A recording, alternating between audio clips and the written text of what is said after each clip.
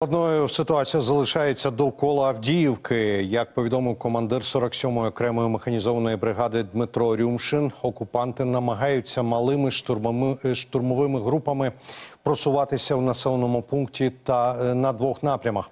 Тому українське командування посилює захист міста.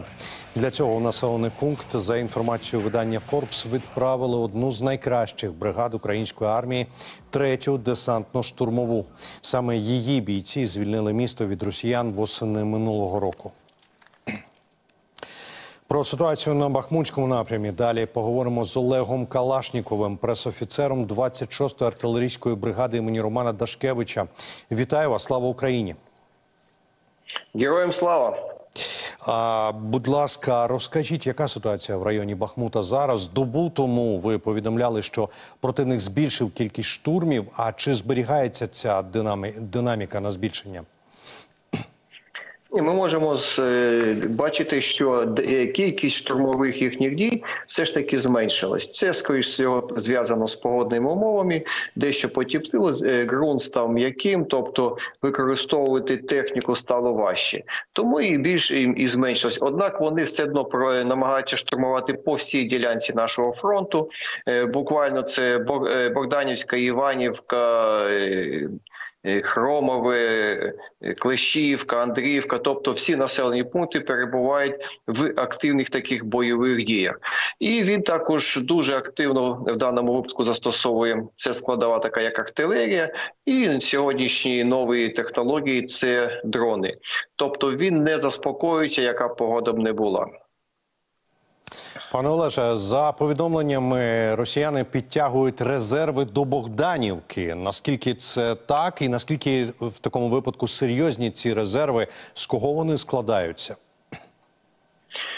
Ну, постійно на цьому напрямку ми можемо спостерігати ще з минулого року, що ворог тут проводить ротації, додає якісь свої бойові частини.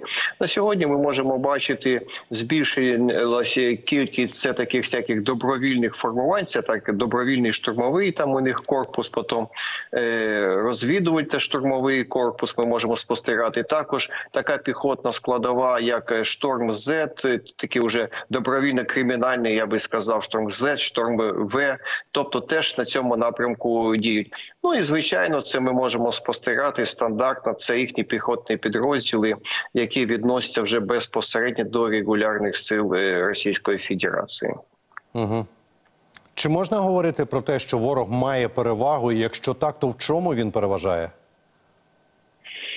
Він перевагу має це за ресурсом, за людським ресурсом. Це ми можемо бачити, як ми знищуємо вже яку сотню їх окупантів, а їх все менше не стає. Ну і також за я би сказав, за озброєнням, яке вони достають з арсеналів ще радянських часів. Тобто, за кількістю озброєння вони дійсно його досить таки багато мають. Вони не настільки е, точне, не настільки е, гарне, як і натовське, однак за кількістю його також дуже багато.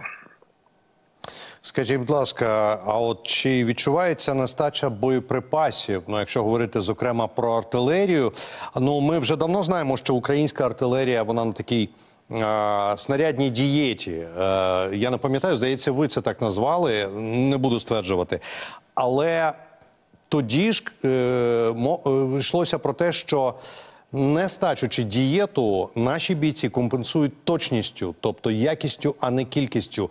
Чи правда це чи залишається такою ситуацією на тепер? Так, на сьогодні ми так само намагаємося вражати ворога точково, тобто дійсно ми е, е, економимо постріли і продовжуємо чекати, коли все ж таки наші партнери нададуть нам більшу кількість пострілів для того, щоб ми могли і краще оборонятися, і е, робити такі активні штурмові дії з свого боку. Тобто снарядів мало на полі бою ніколи не буває. Ну взагалі будь-яких пострілів. Багато так. А скажіть, будь ласка, минулого тижня здається, ви змалювали ситуацію в районі Бахмута як гойдалки. І якщо продовжити метафору, на чиєму боці вони зараз, на вашу думку? На різних ділянках фронту відбуваються різні бойові дії. Е, сказати, що ми перебуваємо в такій глухої обороні на нашому напрямку, не можна, тому що ми продовжуємо також атакувати ворога. Він атакує на деяких своїх ділянках, локаціях, де він вважає, що має перевагу. Ми ж в свою чергу ж знаходимо ті ділянки ворога, де ми можемо атакувати, і безпосередньо займати вже його вогневі позиції. Тобто така динамічна ситуація вона триває. Вона е, щоденно е, на е, деяких локаціях вона змінюється, і сказати в яку сторону перевага буває досить таки важкувато. Угу. Командир батальйону ударних БПЛА 92-ї бригади Юрій Федоренко напередодні у коментарі одному з каналів, зокрема, повідомив, що потужна об'єднана робота сил оборони відбиває атаки окупантів, і ліквідує їхній ударно-штурмовий потенціал там живої сили та техніки. Кінець цитати. Наскільки злагоджено діють українські сили? Наскільки це, це вже система, скажімо так? Скажу на прикладі нашої артилерійської бригади. Е, тобто, ми працюємо по принципу розвідувально-вогневий е, комплекс. Тобто, ми працюємо в симбіозі з розвідкою, розвідкою безпосередньо як нашої бригади, причому це здійснюється різними засобами розвідки, не тільки БПЛА. Е, а також ми працюємо так і в співдружності з іншими підрозділами. Наразі які безпосередньо з підрозділами, які перебувають на лінії зіткнення. Ми також обмінюємося інформацією, ми отримуємо від них повідомлення, де перебуває ворог, е, куди нам нанести вогневе ураження, і звичайно це і робимо. Тобто, якби не було такої комунікації, не було такої командної роботи, звичайно, ми не могли б настільки ефективно стримувати ворога, його знищувати і зупиняти. Угу. Пане Олеже, дрони це ну тема номер один е, останнім часом, зокрема. А от хочу запитати, наскільки ефективно ворог використовує дрони? Чи вдається протидіяти нашим бійцям, і як показують себе безпілотники з нашого боку? Дійсно, нові інновації на сьогодні, як кажуть, це війна артилерії та дронів. Е, якщо брати ворожі дрони, їх за кількості досить таки багато. От однак треба зазначити, що все ж таки є і рівень професіоналізму, е, як в зовні, як називається зовнішні безпілоти, зовнішні пілоти або ще дроноводи. Тобто, якщо брати е, їхнє застосування дронів, то вони не більше намагаються застосовувати проти статичних об'єктів. Це таких як наші укріплення, бліндажі, е, окопи. Е, наші ж пілоти, якщо подивитися навіть відео в інтернеті, ми працюємо і по рухомим цілям, і по цілям, які переміщуються. Ми знаходимо нестандартні рішення. Однак на сьогодні дійсно і працюють ще БПЛА, розвідники. Це теж рівень професіоналізму, який е, безпосередньо передають дані на нашу артилерію. На сьогодні дрони дійсно це є такий дуже необхідний такий засіб ведення е, війни. Угу.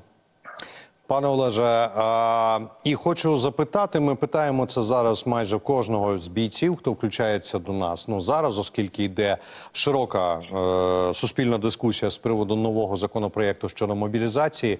Яка ваша позиція в цьому питанні, якщо можна? Це питання не до мене, чесно кажучи, за мобілізацію. Тому я не буду казати свою думку. Хай вирішують на урядовому рівні. Окей, тоді запитаю напевно останнє питання на сьогодні: це наскільки високий моральний дух у наших бійців, і наскільки цей дух присутній чи може відсутній у ворога?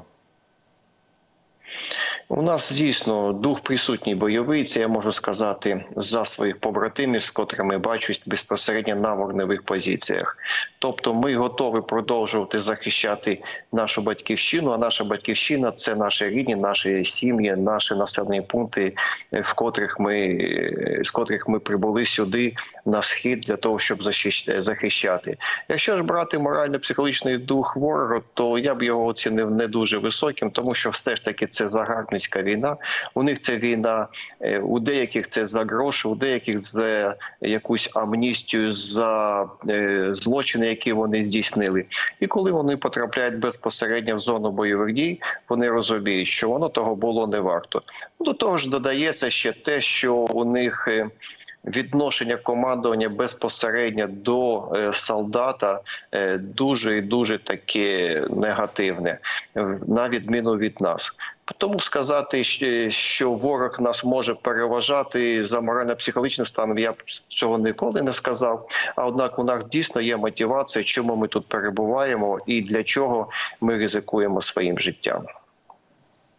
Пане Олеже, дуже вам дякую за розмову, за ваш час і, звісно, за вашу службу. Це Олег Калашніков, пресофіцер 26-ї артилерійської бригади імені Романа Дашкевича. Був у нас на зв'язку. Дякую вам.